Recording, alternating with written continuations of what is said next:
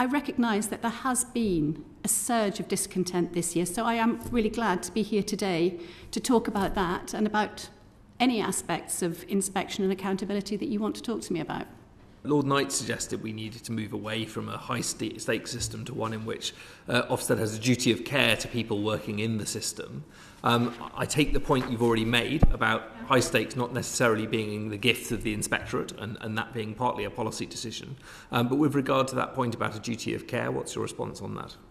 We hire inspectors for their bedside manner um, as well as for their knowledge and experience. We know that what makes a good inspector is somebody who can make the conversation about the person at the receiving end, not about themselves.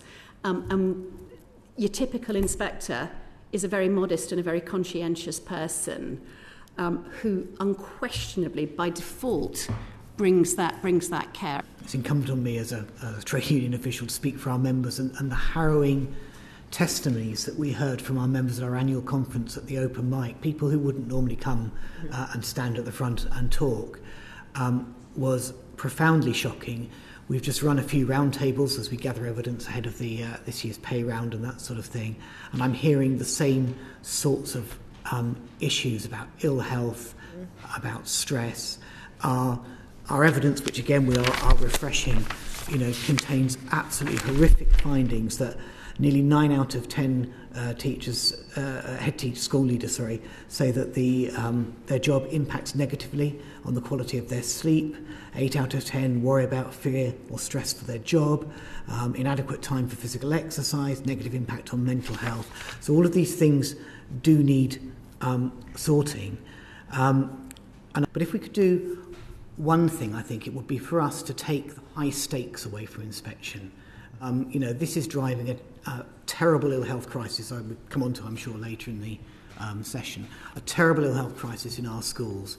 Uh, it's an active deterrent to leadership aspiration, uh, and it is driving a retention crisis in our schools that is terrible. You know, we even have schools now that are judged as requires improvement. Legally, these are schools providing an acceptable standard of education. In old money, they would have been called satisfactory. We could argue about the words.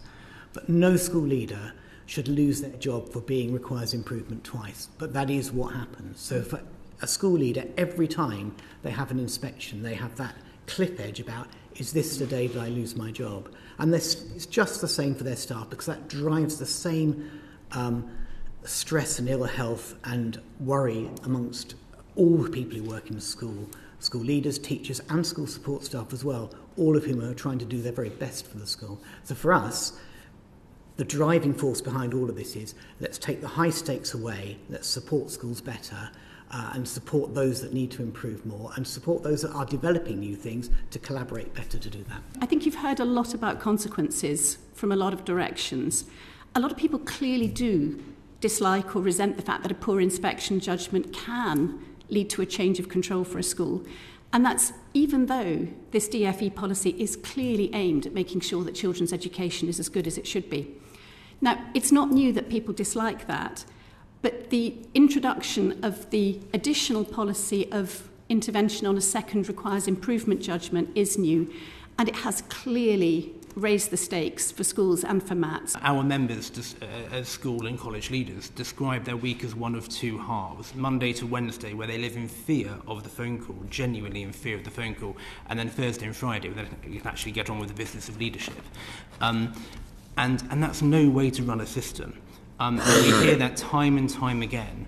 Um, and, and by the way, that comes from uh, school leaders who are running all types of schools, from inadequate schools they've taken over to outstanding schools.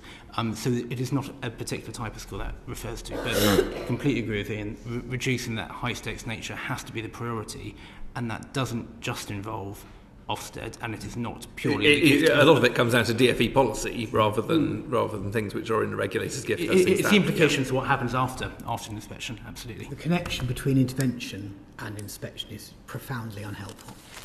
Daniel, anything to add to that? Yes, well, I agree with everything that's been said, but you know, um, accountability systems that encourage uh, the greatest amount of collaboration internationally see the, the greatest amount of equity. Um, I completely gr- agree with the, the removal of the, the high stakes nature. Actually, not much direct evidence about the impact of inspection or judgments on children and young people and on their mental health as well. But I think there's two key points I'd like to raise in response to that. Firstly, it's the changes to the school environment that Ofsted brings.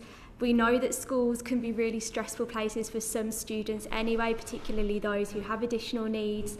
They also can be really supportive and inclusive places where support is put in place and children can really enjoy school. We know that Ofsted is disruptive to the kind of normal school ecology and it can contribute to driving like a really high stakes environment within schools. It's adding additional pressure onto teachers and it's kind of perceived to be driving this narrow focus on academic attainment. So that would be my first thing is how is the changes to the school environment then actually inversely impacting children and young people?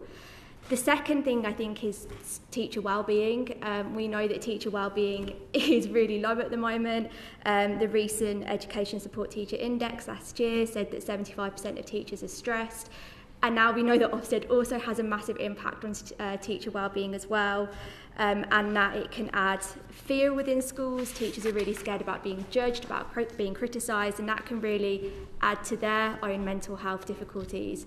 If teacher well-being is low, then how is that impacting on young people? There is research to suggest that well-being does affect teacher performance, that young people are actually really attuned to how their teacher is feeling. So if a teacher isn't feeling well, we know it within ourselves as well when we're at working. If we're not feeling okay, we don't perform to the best of our ability. So I think it's the changes to the environment and the impact that teacher the stresses it puts on teachers and then how that translates to mental to children and young people in terms of how it can be improved, I'm really glad you asked that question because there is, again, our member states of mind, they've done some work with young people to, to develop an alternative Ofsted framework. Um, they gathered some young people's views on the current Ofsted framework. Um, they found that inspections at the moment from a young person's perspective are not providing enough opportunity for young people to talk about their mental health and well-being um, young people found that teachers and students acted really differently during inspections um, inspections being too short, not given enough time for uh, things to be looked at probably, uh, properly, and again it had that negative impact on teacher well-being.